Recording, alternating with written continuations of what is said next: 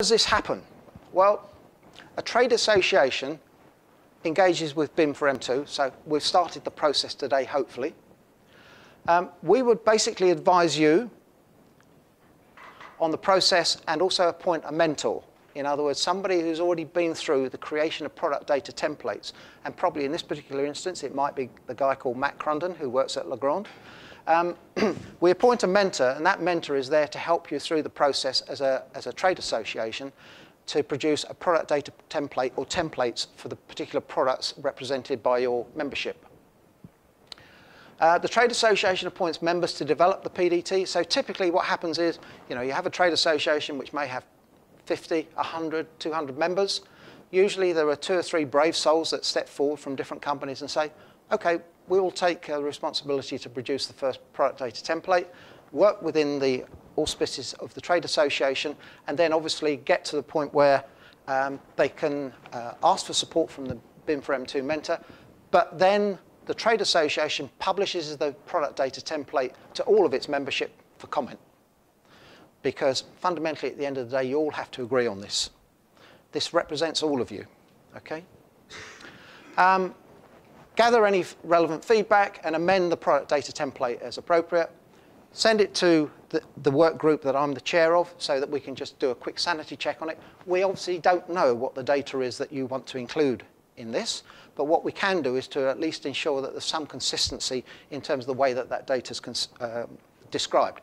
In other words, if you're going to put in length, uh, is that overall length or is that inside length or is that some sort of nominal length? So we need to make sure that the, the, uh, the terminology that we're using is consistent.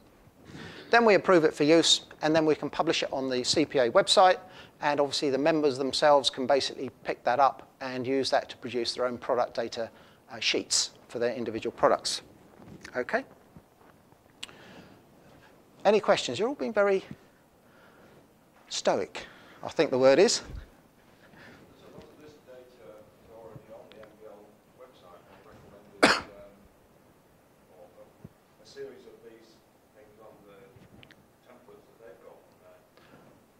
Uh, on, on the BIM toolkit. Um, yeah, the, pro the problem with the ones on the, the BIM toolkit is that they only work at a project level. In other words, they are not a standard definition. They're also not very consistent in terms of the, the data that's actually put into them. Uh, the reason why we're working with NBS and, and, uh, and their toolkit is that what we're trying to do is to pull all these disparate things together. You kind of pinpointed an absolute truth, which is it's a mess. It really is a mess. And therefore, what we're trying to do is basically bring all of the people who are contributing to the mess, and, you could argue to some extent so's BIM for M2, uh, because we're trying to do something in a, a, different way to what other people have done. We're trying to do it properly, I, I hope. um, so yes, that, that will need to be addressed. Um, some of what the, what's in the NBS toolkit will actually get, I'm sure, absorbed into Fundamentally, at the end of the day, the home for all of this is going to be the Construction Products Association website. That's where it's all going to end up. Now, that probably won't happen until the spring of this year. now, I'll just, so I've kind of described a relatively simple set of data that's required. That simple set of data um, will get you to BIM level 2 uh, compliance, which is pretty much all that people are asking for at this stage, which means that somewhere in this process, somebody can produce uh, typically, it's the main contractor at, just before handover can produce this COBie output, which is the driver that goes into the computer-aided facilities management systems that they're all using. Now, I guess you're probably all aware that actually that one of the impacts, of course, of the recession and also one of the impacts of the fact that there's been a, a, significant drive down in terms of cost, both in terms of design and construction, is that all of the main contractors are now looking at or have already established FM businesses. Because fundamentally, if you're only getting 17% of the slice of the cake, but you've got the opportunity to get the other 80% as well, then why wouldn't you? So those, those guys that have already been in FM for, for some time have got a, a flying start but everybody is experimenting with uh, businesses of one description or another which are associated with FM. so what I just want to do is to kind of take a slightly different view, and this is a personal view, but I'm slowly getting my colleagues within BIM for M2, at least in the data templates group, to kind of accept and acknowledge this. if we take the real world, we all deal with physical things. You know, you deal with physical products that you produce. And in this particular instance, uh, I just happen to have um, a couple of examples. One is a physical product, which happens to be a natural ventilation system. And of course, we produce physical things about that, which are booklets or, or um, brochures that are in the physical world as paper. And in the virtual world, actually that doesn't exist in that same form. All that we're concerned about in the virtual world is data and methods. So typically what we find is that in this world we've got products that allow us to create BIM models, things like Autodesk Revit, Graphisoft ArchiCAD, a whole range of different products. Something like a couple of hundred, to be honest, that allow us to basically manipulate data which, to, which is to do with construction. and there's an organization called Building Smart, which I'm not sure, anyone heard of Building Smart? Okay. Building Smart is trying on an international basis, is trying to create an umbrella framework for how all of the um, data in the virtual world moves around. And they've started that by creating something called IFC, Industry Foundation Classes. I don't know if anyone's heard about those sorts of things. But, but fundamentally, industry foundation classes are battling against the fact that all of these other guys have been around for a long time and have created their own de facto standards in terms of how data is communicated. And there are lots of other products that turn up in more advanced applications. And then, of course, you've got the new NBS toolkit, which requires something else from the physical world, which is a kind of a description from the client in terms of what they're trying to achieve. Okay? Now, stuff that's described in the real world has to percolate down into the virtual world in order that those data and those methods can, be, uh, can happen. And the reason that they're happening is that we're trying to create outcomes. We're trying to create information. And the initial outcomes that we were trying to do was mostly to do with visualization, things like clash detection, to make sure that we had coordinated designs and we could actually construct what it was that we, try, we were trying to de, um, design. And then, of course, we got a little more sophisticated when COBie came along because we basically wanted some information in a, in a spreadsheet format. And that suddenly triggered the need for these product data templates and product data sheets. In other words, a structured way of describing the data that you guys have always been providing, but you provide it in PDFs, you provide it all over the place in different uh, product specification sheets, brochures, etc. It's inconsistent in terms of you have to be a human to look at it to understand what it is.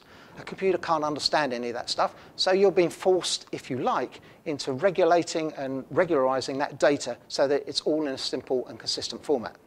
Downside, of course, is it becomes very easy to compare different products because now you don't have to hunt about and look at all the different specifications. You just look at the different product data sheets and you can use the, the kind of capability just to compare them very easily. and what we're basically uh, moving towards as we move from left to right is the requirement for more and more information. Now, I'm in the fortunate position where I pretty much work with all of the main contractors and their BIM teams, so I know what they're doing and I know what they're aspiring to do uh, as they get uh, more sophisticated. What's going to be a truism is that the data that is going to be required won't be as simple as it is described by COBie today, because that's just a very simple little subset of data that is required because the government wants to try and manage, from an FM point of view, its maintainable assets in a more sensible way. So my advice, um, if I'm walk, talking to a trade association or a manufacturer is, look, you've spent decades working out what information, what data you actually need to provide to the industry, your the people who install your products, the, uh, um, the main contractors who ask questions, the people who ask questions about how to maintain your products. You spent decades understanding those sorts of questions, and to a great extent, including all of that data into the various product brochures and, and specification sheets that you produce today. So why don't we just stop messing around and not do a little bit, but why don't we just say, what's the data that we think the industry needs? Why shouldn't we do that right now? Because all that's going to happen is, yes, you can produce a COBie sheet today, and I guarantee that you'll find that O'Rourke will come along and they'll ask for a bit more data. And then Skanska will come along and they'll ask for a bit more data. And then, and then, and then. And all that will happen is you'll keep revising these product data sheets and you'll have to keep updating them all the time. So why not just start from the base of what do we know today that we provide to the industry? Why don't we just regularize that? Because this is a complete mess. There are no standards in this area. Everyone does their own thing in their own chaotic way. And all that you're going to do is basically sit on the horizon here and basically say, this is what we know about the real world and what the real world from a, from a construction and design point of view requires.